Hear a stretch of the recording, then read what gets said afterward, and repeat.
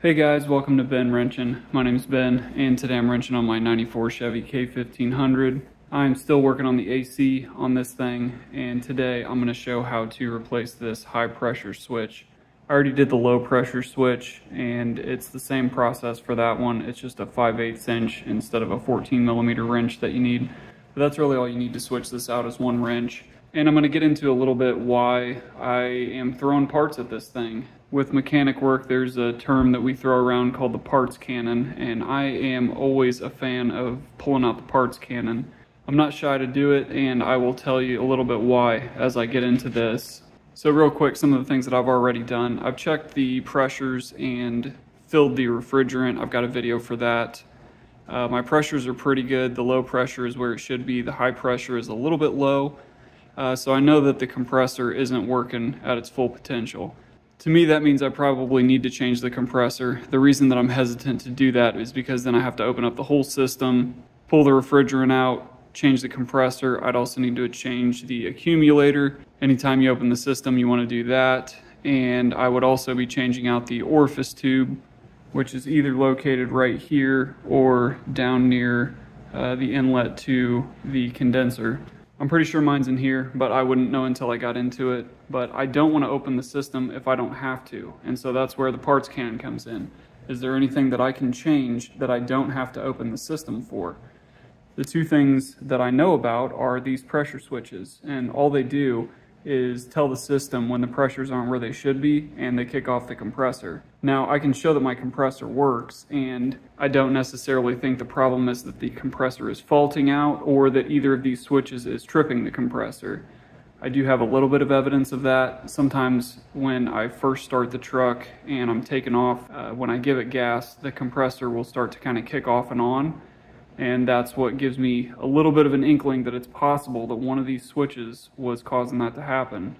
Now I don't think that's going to fix my AC, but again, I don't want to open up the system if I don't have to. That's where for a low risk, high reward, you can pay a little bit of money, uh, switch these switches out, and see if that fixes it. Like I said, I already did that low pressure switch. It was very easy to do.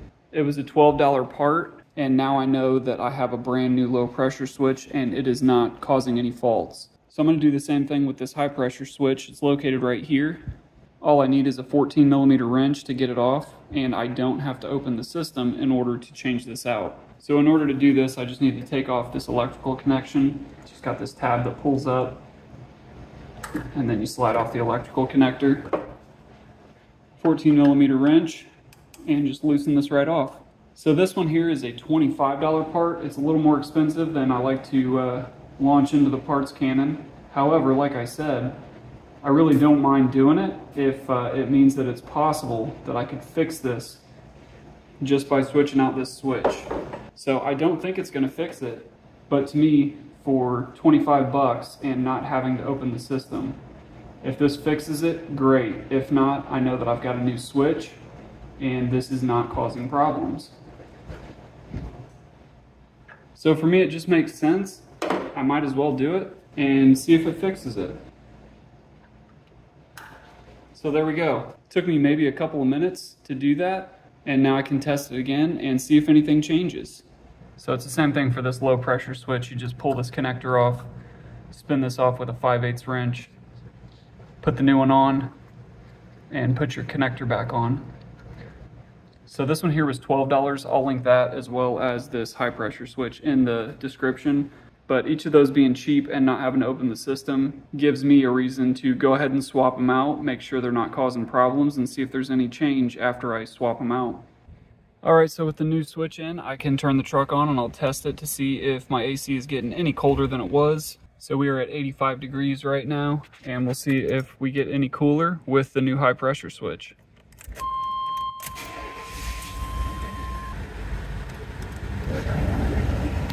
So it's been running for a few minutes. There's no change. And I can see that my compressor is still spinning. So for whatever reason, that compressor is just not working. I'll probably have to end up replacing that. So like I said, I'll do that as well as the accumulator and the orifice tube. So you heard it from me. It's okay to pull out the parts cannon and try some things. Cheap parts, you switch them out, you know those work now.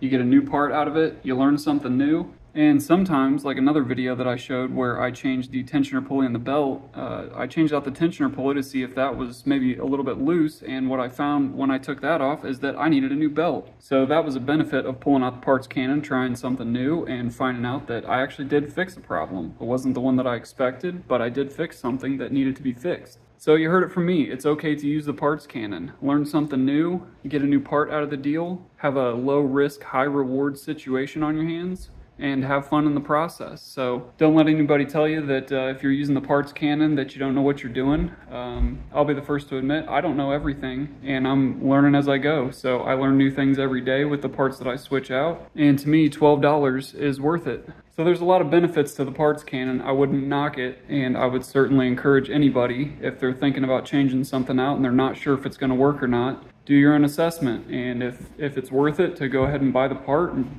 try it and see what happens, then do that. All right, guys, thanks for putting up with my rant and stick around if you want to see me change out that compressor and some other parts of the AC and hopefully get this AC working again. That's it for today. Thanks for watching and I'll see you guys in the next video.